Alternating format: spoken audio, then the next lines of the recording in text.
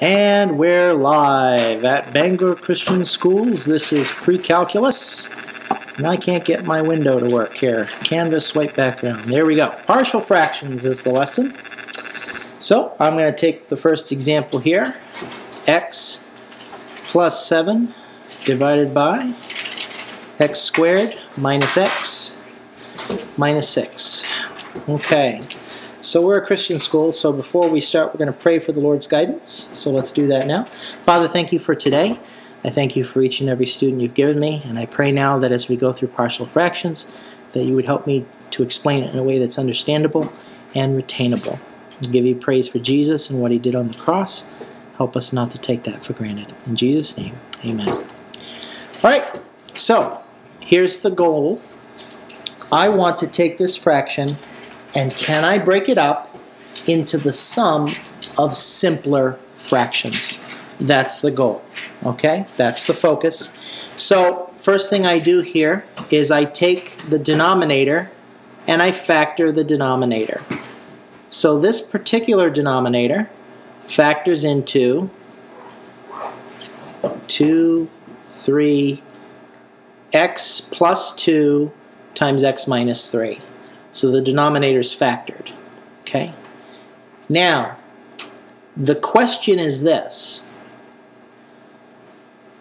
Can this one right here, Joshua, be broken up into the sum of two simpler fractions?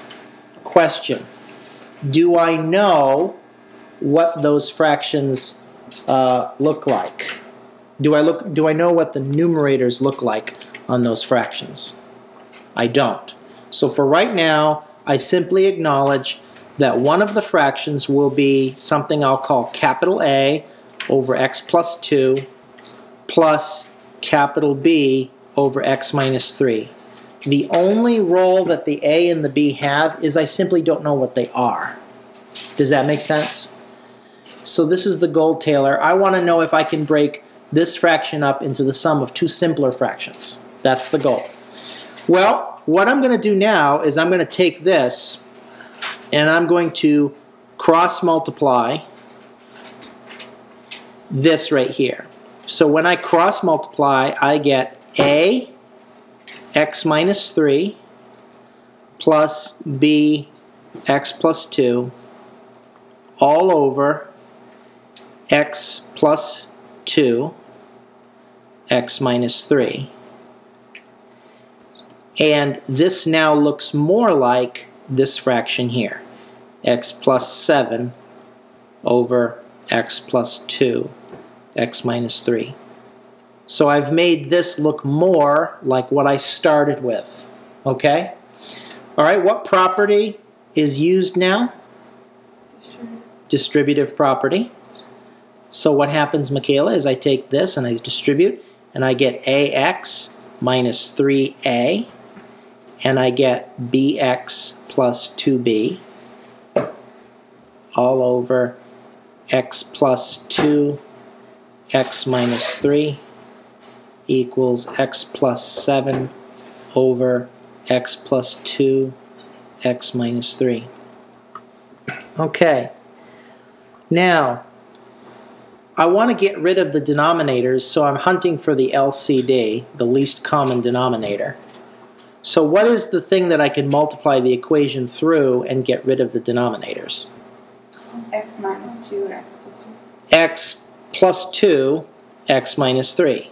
See, if I multiply the entire equation by that, x plus 2, x minus 3, what happens is the denominators just divide out. And that leaves me with, now what I'm going to do next here, Joshua, is I'm going to gather my like terms here, okay? So this leaves me with A plus B times X plus 2B minus 3A equals X plus 7. Has my gathering like terms made sense to you? What I've done for gathering like terms? Why do they cancel out if they're the same? I thought you had to do it by the Does it make sense? Uh, you're thinking of getting rid of a complex number in the denominator. That's when we would use the conjugate. It's kind of like taking this this equation here, Michaela. 2 sevenths plus 3 sevenths equals 5 sevenths. Now, what can I multiply that equation through by to get rid of the denominator? By the number 7, and it gets rid of all the denominators. Now, is 2 plus 3 equal to 5? This is the exact same idea. Does that make sense? Mm-hmm. All right, Taylor, here's the beautiful thing. Whatever A plus B is, it has to be 1. Does that make sense? And whatever 2b minus 3a is, what does 2 by 2b minus 3a have to be? 7. 7. Do you see what, we're, what we have now? We have two linear equations, two unknowns.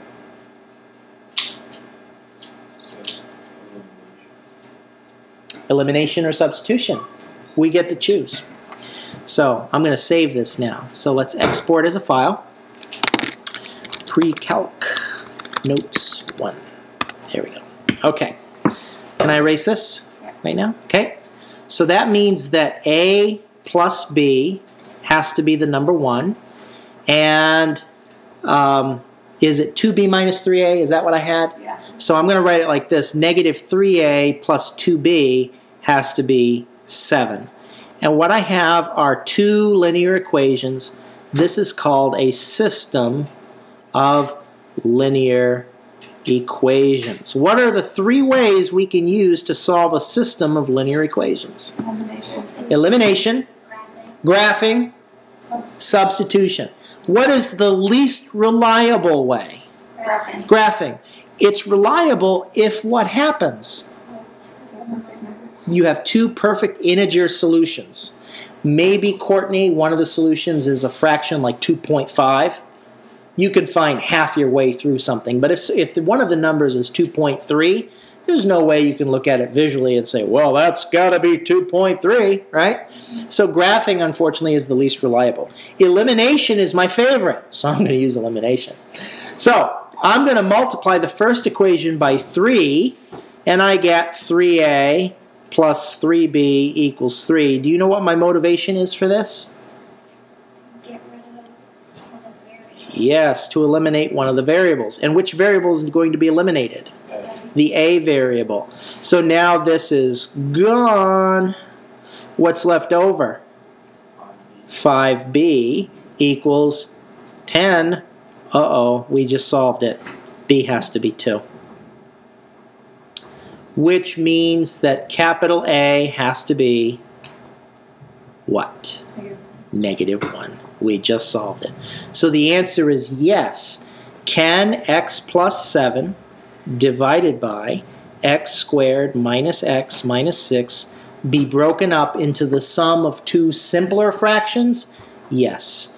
It can be broken up into negative 1 over x plus 2 plus 2 over x minus 3. Now, if you cross multiply here, which I will do, you should get the same thing. So this becomes, let's just do this as a check to see if we really did this right. This becomes negative 1 times x minus 3 plus 2 times x plus 2 all over x plus 2 times the x minus 3. Now I use the distributive property, so negative x plus 3 plus 2x plus 4 over x plus 2, x minus 3. Combine like terms, I get x plus 7 in the numerator. And so now everything is checked. It worked. So we'll put a green check mark here to say that our check worked. Did that make sense? And that's the goal of the lesson, Taylor. Can we take a fraction and break it apart into the sum of simpler fractions? Now I'm going to use the word sum, okay? This right here is a negative 1. So what I could have done, Abby, as an alternate answer is I could have said 2 over x minus 3 minus 1 over x plus 2, and it's the same result. I'm still going to use the word sum because I can write this as the sum of a negative if I wanted to. In other words, I could say this is plus negative 1 over x plus 2. Oh, absolutely. Absolutely. We're going to do another one. Does this make sense? How did the book do without writing anything out? How did the book do without what? Do this problem without writing anything out? Without writing anything out. They literally just have x plus 7 over x squared minus x minus 6 equals, and then their answer. That's why I don't like the book.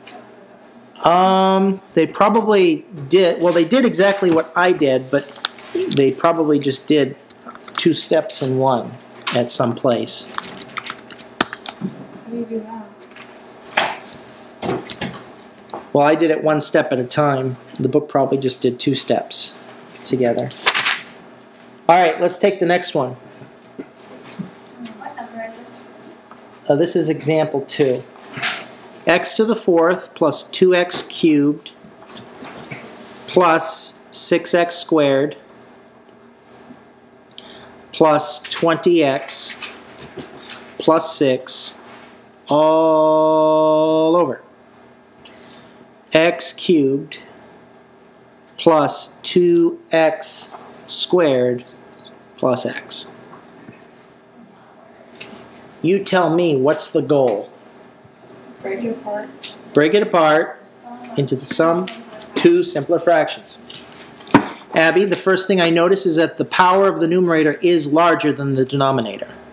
Therefore, I have to long divide first. So if the power of the numerator is larger than the power of the denominator, then you need to long divide.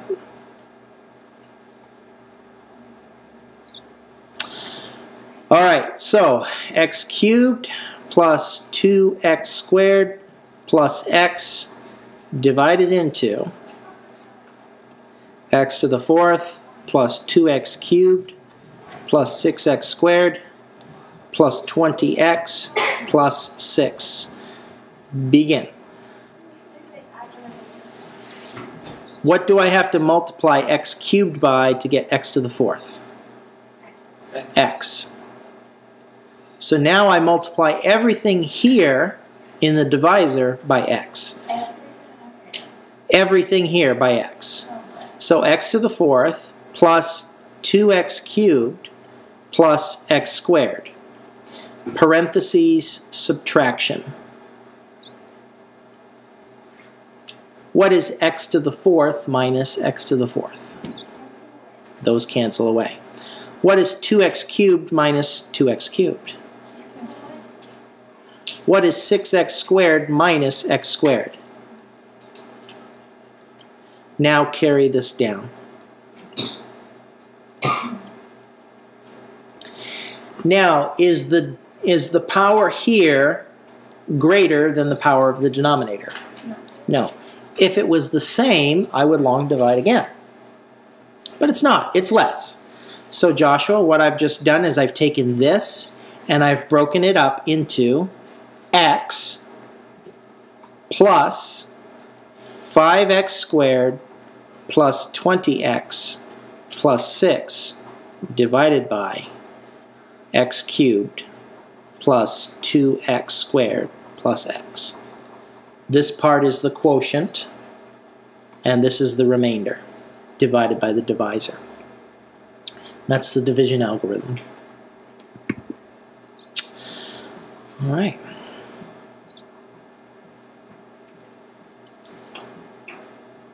Time to factor as much as possible the denominator and the numerator. So I will factor the denominator. Factoring the denominator gives me x times x squared plus 2x plus 1. Does that make sense? This here is a perfect square. This becomes x times x plus 1 squared.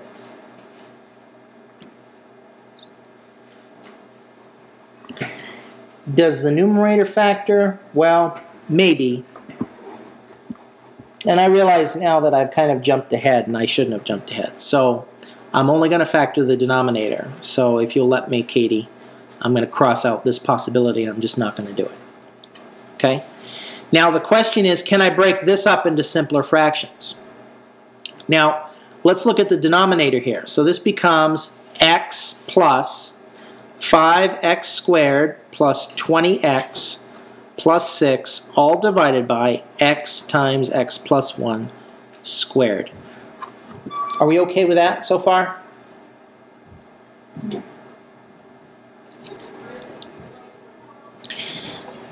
Now, I need to see if I can break this up into simpler fractions. And I notice right here, Michaela, that this is a power of 2.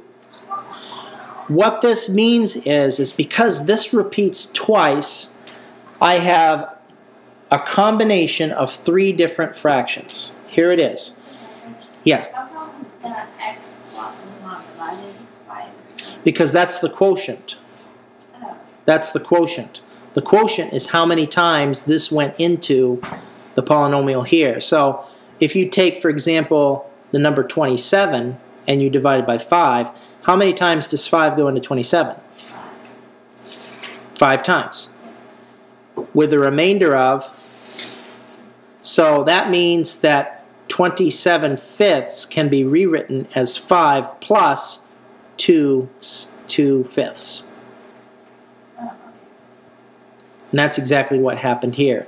This is the quotient. All right. I'm going to look at the denominator again. This is a power 2, right? All right. Joshua, if this happens, this means that my combination will be first a over x for this.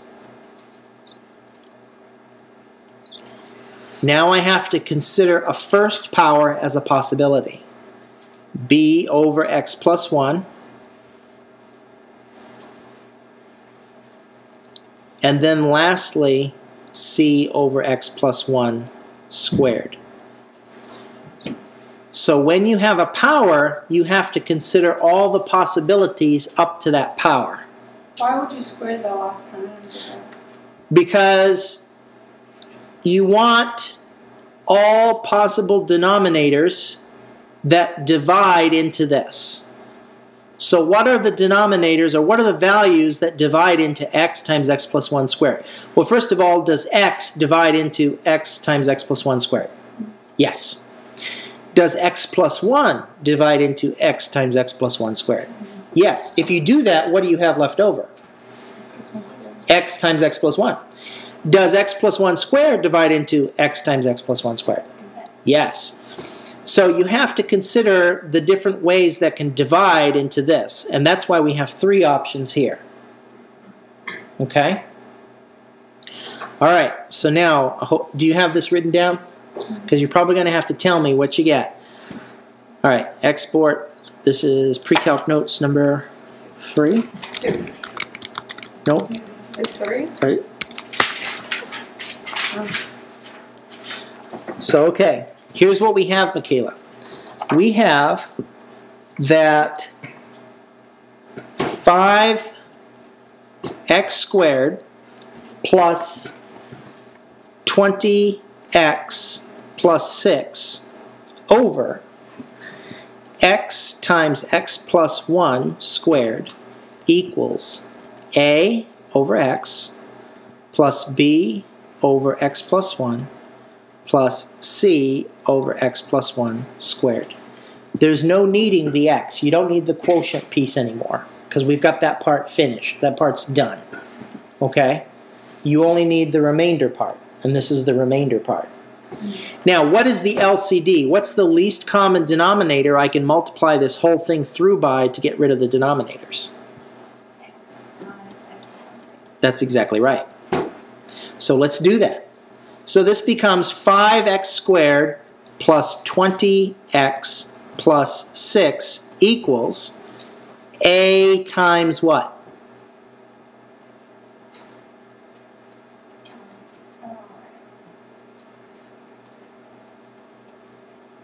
X plus 1 squared.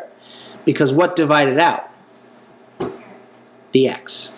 plus b times x, x plus 1. What happened there? The x plus 1 divided out. How many did we have? One of them divided away. How many do we have left? Plus CX. cx is correct.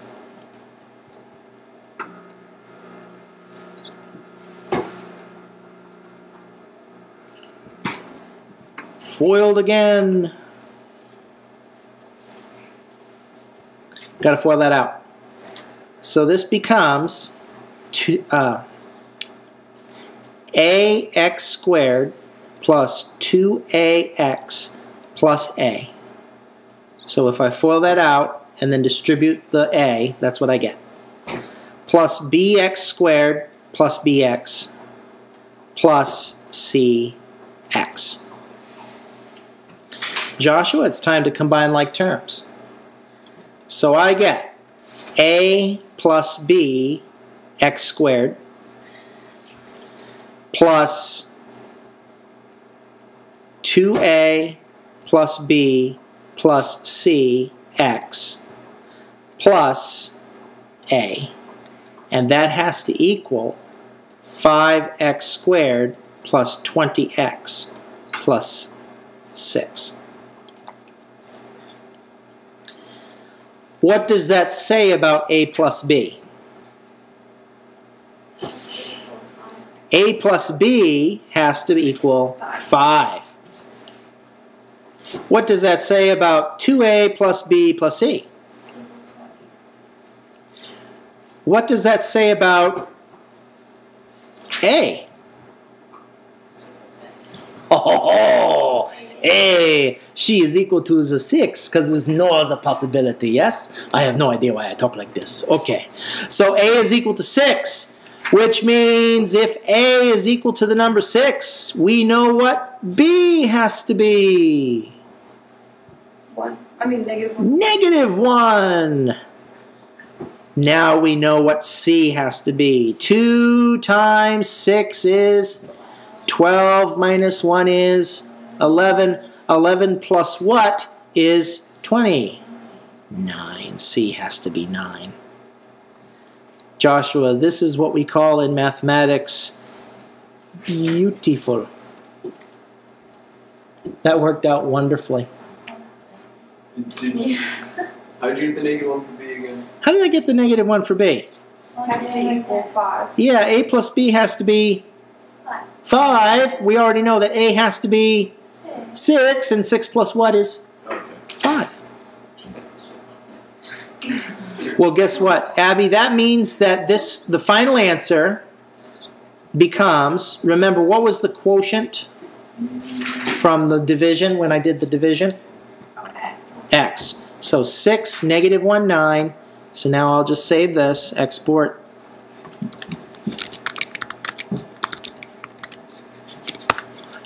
And that means that the final answer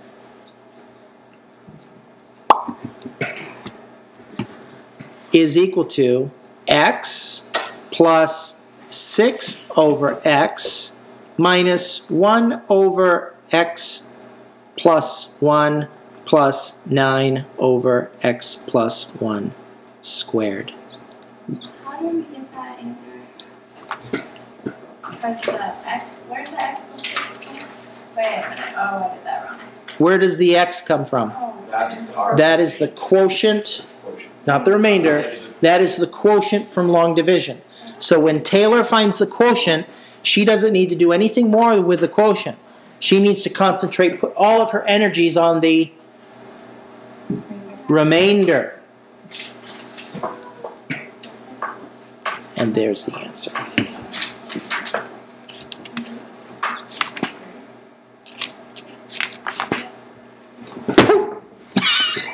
okay. That was weird.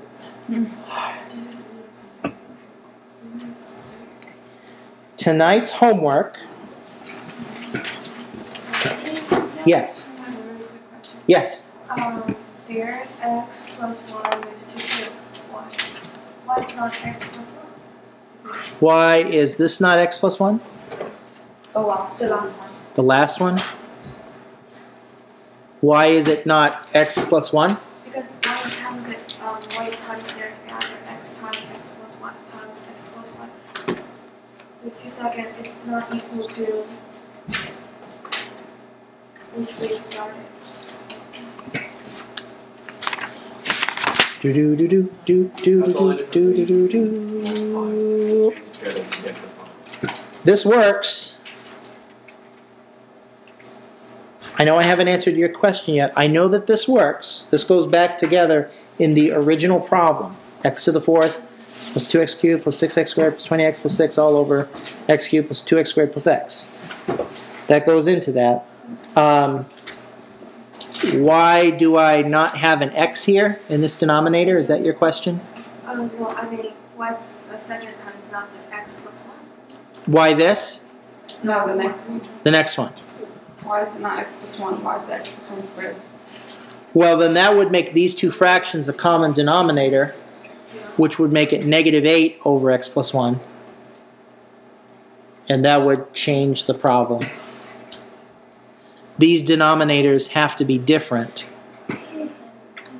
If that was just an x plus 1 with no square, then the, you can combine these two fractions into a simpler fraction.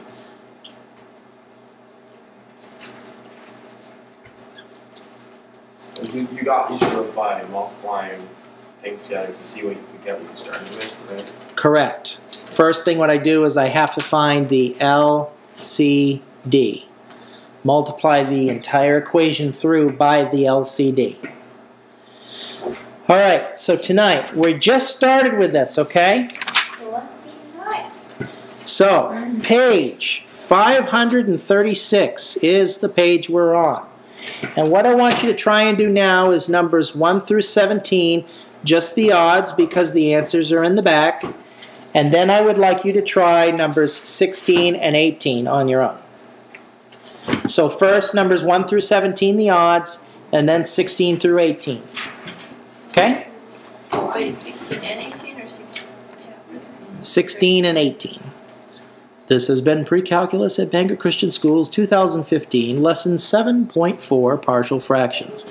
I'm Mr. Partridge. God bless you wherever you are today.